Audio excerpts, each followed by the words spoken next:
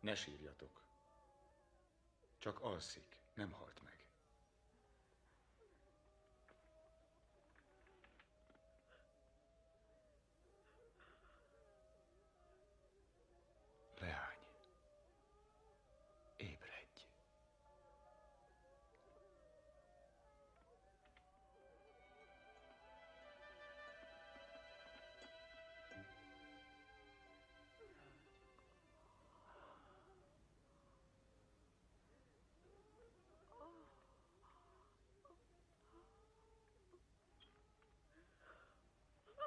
Adjatok neki enni, és kérlek, hallgassatok arról, ami történt.